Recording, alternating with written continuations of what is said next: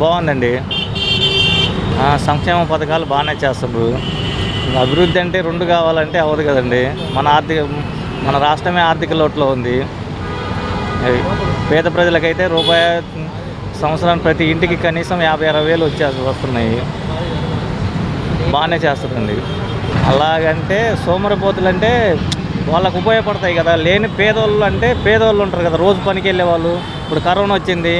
రోజు పేదలకు ఒక పదివేలు వచ్చినాయంటే వాళ్ళకు తినటానికి ముందు తినటానికి ఉన్నట్టేగా సోమరిపోతులు అనేది వేరే విషయం. ముందు తినటానికి వాళ్ళకు వచ్చినట్టేగా అలా ఆలోచించాలి. సోమరిపోతులు అంటే సోమరిపోతులు కష్టపడేవాడు ఎప్పుడైనా కష్టపడతాడు. డబ్బులు ఉన్నా కష్టపడతాడు కష్టం డబ్బులు లేకున్నా కష్టపడతాడు. సోమరిపోతనం ఉండేవాడు వాడు డబ్బులు లేకున్నా సోమరిపోతనంగానే ఉంటాడు డబ్బులు ఉన్నా సోమరిపోతాను వాడు ఎప్పుడు వాడి జీవితం అంతే ఉంటుంది. అలానే ఎప్పుడు ఆలోచించకూడదు. పేద ప్రజలకు జగన్ బాగానే చేస్తుంది కరోనా టైంలో సంక్షేమ పథకాలు అమలు చేస్తారు ఇంకా అదే చర్యలు అంటే ఇంకా అదే బెటర్. ఇంకా అవన్నీ పెద్ద పెద్ద విషయాలు మనకు అంత నాలెడ్జ్ లేదండి. మనకైతే విజయవాడ వాసిగా నాకు తెలిసి మనకు రాజధాని ఇక్కడ ఉంటేనే బెటరు. అది నా ఒపీనియన్. అదే మేడం నా నా ఒపీనియన్ అయితే జ- రాజధాని మనకు విజయవాడ వాసిగా మనకి ఇక్కడే ఉండాలి. అది నా ఒపీనియన్ అయితే. బాగా ఉంది. అందరికీ అంతేనే అమ్మ.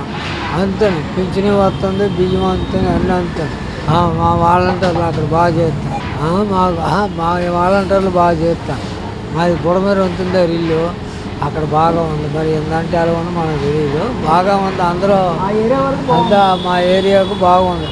కానీ బియ్యం కానీ అన్నీ ఇస్తాం అది మనం రాజకీయం పొలిటీషియన్ ఎలా మనం ఎలా చెప్పగలము అది మనం చెప్పలేము. వచ్చేసరికి వీళ్ళకే అవకాశం ఉంటుంది ఎక్కువ. పనులు డబ్బులే ఇస్తున్నారు కదా. డబ్బులు ఇచ్చిన ఆడవాళ్ళకి పదిహేను వేలు ఐదు వందలు ఇచ్చారు. మరి ఆ ఇచ్చిన ఆ, మరి అందినప్పుడు డబ్బులు అందినప్పుడు మరి న్యాయం చేయాలిగా. అది మనం అనుకోవడం అప్పుడు ఆడి దయ అది. ఇంకా అవగాహన రావాలని నా ఉద్దేశం. ఎందుకంటే మొదటి నుంచి పనవాళ్ళకి ఇసుక లేకుండా అక్కడ ఒకటి బాగా ఇబ్బందిగా ఉంది. కొంత దాని తర్వాత కరోనా వచ్చి ఇంకా కొద్దిగా ఇబ్బంది పెట్టింది. అది తీసుకుంటున్నారు. కరోనా గురించి అయితే బాగానే తీసుకుంటున్నారు. అదొకటి ఉంది. ఎవరికైనా వాళ్ళకి కావాల్సిన ఏర్పాటు చేసి ఇంకా అభివృద్ధి చేసేటట్టుంటే ఇంకా బాగుంటుంది. అది ఊరకనే ఉచిత పథకాలు ఇచ్చేస్తే ఏమవుతుంది?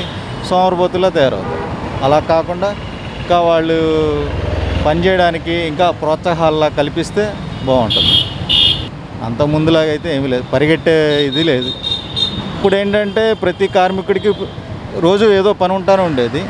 ఇప్పుడైతే కొద్దిగా తక్కువగా ఉంది అది ఈ వీడియో గనక మీకు నచ్చినట్లయితే లైక్ చేయండి షేర్ చేయండి. మరిన్ని వీడియోస్ కోసం మా ఛానల్ను సబ్స్క్రైబ్ చేయండి.